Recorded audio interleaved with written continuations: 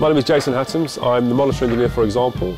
I have also worked for Madness, uh, Happy Mondays, Mark Ronson, Spandau Ballet. I'm using the S3LX. I've had a guy say it's a lighting desk because it is tiny, it's so small, and they can't believe it'll do 64 channels and 24 bus outputs.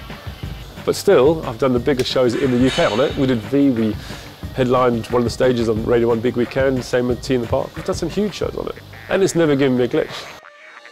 On this example tour, we're up to 47 inputs coming into monitors. We're all on in-ears, so there's no monitors on stage, no side fills. Uh, Output-wise, I've got four stereo buses for the band, four stereo buses for the crew, and then there's a bus for the drum thumper and a bus for the bass player as well.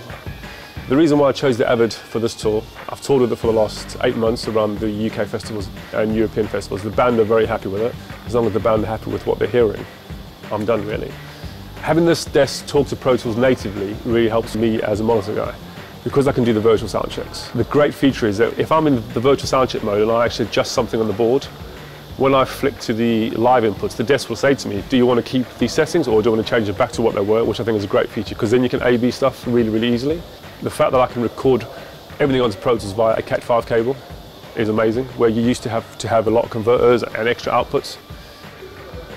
If they want to rehearse and the bass player is not here, I can have his input coming from the Pro Tools while the rest of the guys are playing live. So you don't have to have the whole band in to rehearse. When I moved across onto the S3L, the plugins sounded better than they sounded before. And now using the S3LX, they've sounded even better now.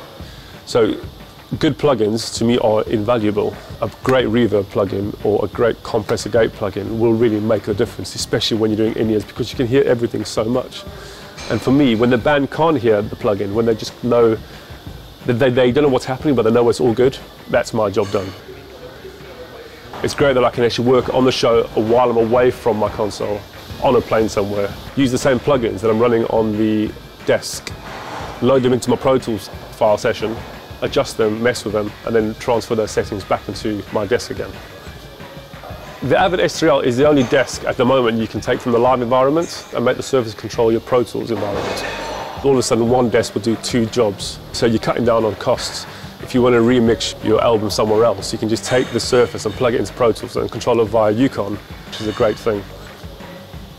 The choice of plugins, the choice of Surface and the Pro Tools makes me better than what I am, if that makes sense.